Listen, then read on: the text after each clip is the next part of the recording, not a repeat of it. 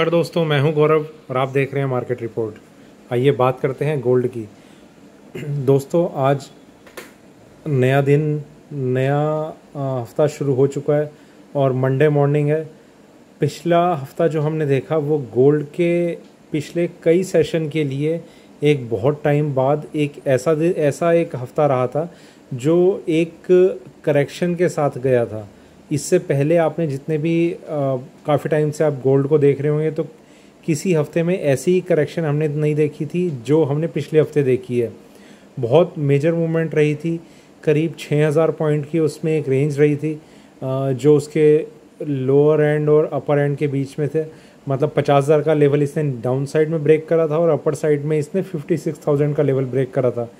तो उसी के बीच में ये ट्रेड करता रहा। तो ये गोल्ड के लिए अपने आप में अगर आप इसे परसेंटेज टर्म्स में देखें तो करीब करीब 12 परसेंट की इसमें ये रेंज रही है पचास हज़ार की वैल्यू से। तो गोल्ड के लिए 12 परसेंट मूवमेंट एक हफ़्ते में वो बहुत बड़ी बात है। ठीक है तो आ, आने वाले दिन ऐसे ही रहेंगे या इससे ज़्यादा ख़तरनाक हो सकते हैं या थोड़े स्टेबल होने की तरफ़ जाएँगे। उसके लिए अब हम थोड़ा एक जो एनालिसिस कर रहे हैं, उस पर बात करते हैं। देखिए दोस्तों, ये अभी आपकी स्क्रीन पर 15 मिनट का चार्ट है। वैसे तो मैंने एक वीडियो ऑलरेडी एक अपलोड किया था।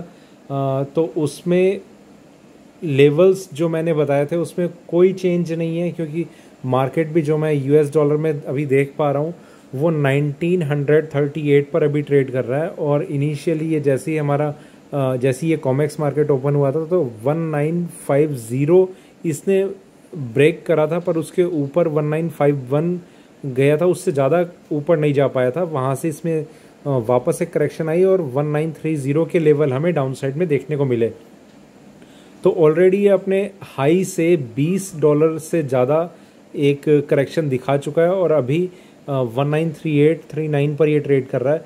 तो कहीं ना कहीं हम ये चीज़ देख रहे हैं कि वापस वही ट्रेंड हमें देखने को मिल रहा है, जिसकी मैं आपसे लगातार बात कर रहा हूँ कि हायर लेवल पे बार बार अब गोल्ड को एक रेजिस्टेंस फेस करने को मिलेगा। बायर्स जितने भी हैं, उनके लिए थोड़ा कॉशियस होने की ज़रूरत है क्योंकि गोल्ड में अब उस तरीके की तेज़ी नहीं रह गई है जिस तरीके की पहले रहा करती थी। देखिए, इसे मैं MCX पर भी आपको समझाता हूँ। यहाँ आप देखेंगे ये मार्केट है ये मार्केट अप साइड में गया मार्केट में ये सारी ये एक आ, रेंज में ट्रेड कर रहा है। ये यहाँ से फिफ्टी थाउज़ेंड जैसे इसने ब्रेक करा था उसके बाद ये बाउंस आना शुरू हुआ। बाउंस आने के बाद इसे बहुत आ, एक हैवी एक रेजिस्टेंस फेस करने को मिल रहा है इन लेवल्स पे ठीक है? थोड़ा सा इसने और ऊपर जाने की कोशिश करी थी यहाँ पर पर सस्टेन नहीं करा। वापस ये इसी लेवल पे आ गया और अभी हम देखते हैं कि आज का मार्केट कैसा होगा।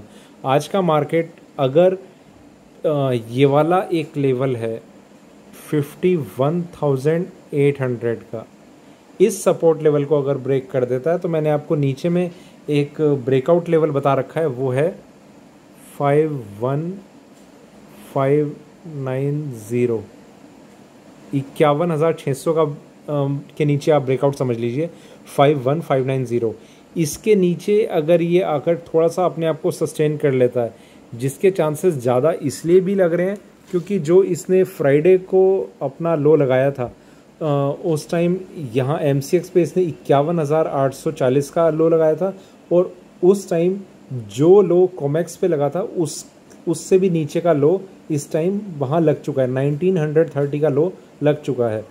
तो उम्मीद ये करी जा रही है कि ओपनिंग सेशन में अगर ये उस लो के आसपास जाता है तो पूरे पूरे चांसेस ये होंगे कि 51,800 का लेवल ब्रेक हो चुका होगा। वो पहला साइन होगा कि इसने इस रेजिस्टेंस को इग्नोर कर मतलब इस रेजिस्टेंस पे जो प्रेशर इसे फेस करने को मिल रहा था वो काफ़ी हैवी है और नीचे की तरफ़ एक छोटे छोटे और ब्रेकआउट दे रहा है इन लेवल्स पे। ठीक है? दूसरी चीज़ जो एक्चुअल लाइन है ब्रेकआउट की, वो है five one five nine zero यहाँ कहीं पर होगी। ठीक है? इसके नीचे भी अगर ये ब्रेकआउट देकर सस्टेन करता है तो चांसेस ये होंगे, फिर आप थोड़े से एक लॉन्गर टर्म व्यू लेके लॉन्गर टर्म व्यू इसमें कभी भी कहीं, कई महीने का नहीं होता इस मार्केट में। लॉन्गर टर्म मतलब आप उसे पोजिशनल कॉल ले सकते हैं। आप कैरी ओवर करने की आप कोशिश कर सकते हैं। मार्केट इस लेवल को ब्रेक करेगा इसके नीचे अगर थोड़ा सस्टेन करता है तो 53,000 का आप एक स्टॉप लॉस लेके फॉर द टाइम बिंग ये मैं ये नहीं कह रहा कि हमेशा का यही रहेगा फॉर द टाइम बिंग जैसे ये इस लेवल को ब्रेक करेगा देखिए देखने में ये लग रहा है डेढ़ हज़ार पॉइंट का स्टॉप लॉस पर इस चीज़ को मैं आपको ये बताता हूँ थोड़ा सा एक घंटे की तरफ़ मैं आपको समझाता हूँ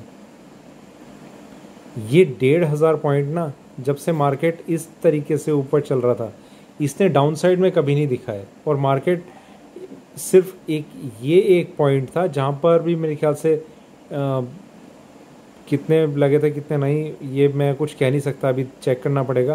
पर यहाँ पर भी जिस तरीके से लग चल रहा था इस पॉइंट से नीचे डेढ़ हज़ार पॉइंट ये गया था, नहीं गया था, उसे एक बार चेक करना पड़ेगा। तो एक रैली जो आ रही थी ऊपर की साइड में, उसमें भी ये डेढ़ हज़ार पॉइंट नीचे की करेक्शन नहीं दिखा पाया। और जिस तरीके से अगर ये यहाँ से एक डाउनफॉल दिखाएगा, पहली चीज़ के डाउनफॉल हमेशा एक अप ट्रेंड से ज़्यादा स्पीड से आता है, ज़्यादा तेज़ आता है। तो इस स्टॉप लॉस को अगर मैं आपको बोल रहा हूँ, पहला तो ये मैं अभी रेंडमली बोल रहा हूँ, क्या लेवल्स होंगे वो थोड़ा उसके बाद ही पता चल पाएगा। Five one five nine zero के नीचे जैसे जैसे मार्केट सस्टेन करेगा। तो एक्चुअल लेवल मैं आपको उसके बाद बता पाऊँगा। देखते हैं कि क्या लेवल रहता है, क्या नहीं रहता। पर हमारा जो एक नेक्स्ट सपोर्ट लेवल होगा, वो फिफ्टी थाउज़ेंड फाइव हंड्रेड के बीच में कहीं पर होगा, क्योंकि इसे रीटेस्ट करना होगा फिफ्टी थाउज़ेंड का लेवल तो उस पर हमारी एक नज़र रहेगी, ठीक है? थोड़ा सा और आगे बढ़ते हैं, चार घंटे की तरफ़ हम चलते हैं। यहाँ पर हम देख रहे हैं कि एक, ये जो मूवमेंट थी, ऊपर की साइड में ही थी ये यहाँ तक सारी की सारी ख़त्म हो गई। अभी मार्केट ने इस तरीके से एक बाउंस लेना शुरू करा। अभी ये डाउन साइड में अगर आ रहा है, इस सपोर्ट लेवल के नीचे अगर ये ट्रेड करना शुरू कर देगा तो चांसेस पूरे पूरे ये होंगे कि फिफ्टी थाउज़ेंड के ऊपर कहीं पर एक सपोर्ट लेने की कोशिश करेगा। पर अल्टीमेटली मैं आपको एक चीज़ फिर से बता रहा हूँ कि जितने ट्रेड लें आप सेलिंग के लें। सेलिंग का, के ट्रेड लेने का मतलब मैं ये नहीं कह रहा आपको कि जैसे यहाँ पर मार्केट आपको ऊपर की तरफ़ जाता हुआ लग रहा है तो आप यहाँ सेल कर दें। गलत। मार्केट अगर ऊपर जाता हुआ लग रहा है तो आप वेट करें, आप अवॉइड करें। यहाँ पर देखिए, ये यहाँ पर छोटी छोटी कॉल्स जनरेट होती हैं बाइंग की। तो बाइंग की कॉल जब जनरेट हो रही है, मेरा आपसे सिर्फ़ ये कहने का मतलब है कि आप बाइंग ना करें। ट्रेंड के साथ रहेंगे। देखिए, दो चीज़ें हैं। पहला कि ओवरऑल ट्रेंड उसका कैसा चल रहा है। दूसरा, आपको इंट्राडे ट्रेंड में कोई सेलिंग का एक ब्रेकआउट मिला है या नहीं मिला? ओवरऑल ट्रेंड आप कंसिडर करेंगे। सेलिंग वो इंट्राडे ट्रेंड पे आप अपने ट्रेड्स को एग्जीक्यूट करेंगे। ये एक छोटा सा एक फ़र्क है जो इस ट्रेंड में और इस ट्रेंड में आपको समझना है। फॉलो आपने इस ट्रेंड को करना है। ट्रेड्स आपने इस ट्रेंड पर लेने हैं। दोनों में क्या सिमिलरिटी है, क्या कॉमन चीज़ है कि आपने ट्रेड में एंटर तब करना है जब दोनों का ट्रेंड एक ही साइड का हो। ये अगर डाउन साइड में है और ये इंट्राडे में अगर आपको अपसाइड ट्रेंड दिख रहा है तो आप इसे अवॉइड कर लें। भले ही कितने भी स्ट्रॉन्ग सिग्नल हो, आप इसे अवॉइड कीजिए। मार्केट में ये डाउन साइड है, ये भी डाउन साइड है, आप ट्रेड में एंटर कीजिए। बहुत ही ज़्यादा सेफ़ आप रहेंगे इस थ्योरी को लेकर। ठीक है? इन चीज़ों को आप अपने प्रैक्टिकल ट्रेड्स में उतारना शुरू कीजिए, जो भी आप ट्रेड ले रहे हैं। आप चाहे इस चीज़ को थोड़ा सा पेपर वर्क पे एग्जीक्यूट कीजिए। देखिए आप एक दो महीने के आप, के रिज़ल्ट कैसा रहता है। आप खुद देखेंगे कि जितने ट्रेड्स आपने ट्रेंड के अगेंस्ट लिए हैं इंट्राडे में, उसमें आपको कंपेरेटिवली ज़्यादा लॉस बियर करना पड़ेगा। मैं नहीं कह रहा कि इसमें लॉस नहीं होगा आपको, बिल्कुल होगा, पर उनके कंपैरेटिवली कम होगा और उनके कंपेरेटिवली इसमें प्रॉफिट ज़्यादा होगा। तो आपने जितना पैसा लगाया, मान लीजिए आपने सौ रुपये लगाए हैं तो सौ रुपये में से अगर आप ट्रेंड के अगेंस्ट रहते हैं तो आपको दस रुपये का प्रॉफिट होने का, के ज़्यादा चांस रहेंगे। अगर आप ट्रेंड के अगेंस्ट रहते हैं तो आपको ये प्रॉफिट छः रुपये तक का रह सकता है।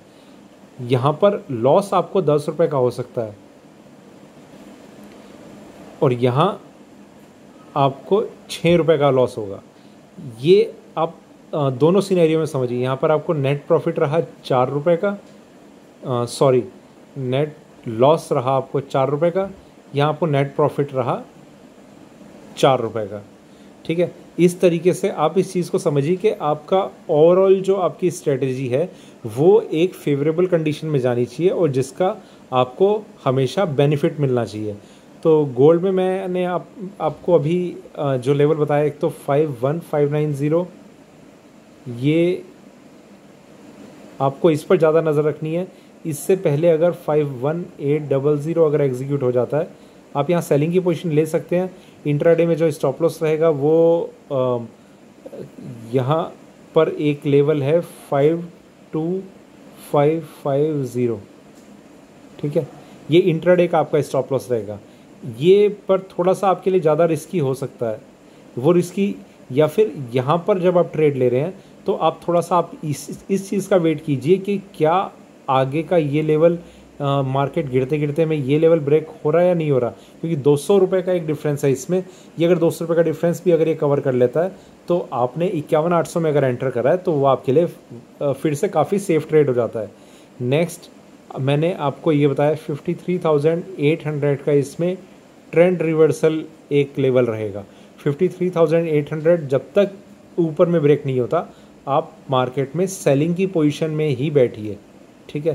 तो यही था मेरा गोल्ड पे अभी का वीडियो और कोई मेजर चेंज नहीं है कॉमेक्स में तो मुझे लगता नहीं कि और कुछ हमें कुछ लेवल्स का ध्यान रखना है। तो वीडियो अच्छा लगा हो तो लाइक करें शेयर करें, बने रहें मेरे साथ, देखते रहिए मार्केट रिपोर्ट धन्यवाद।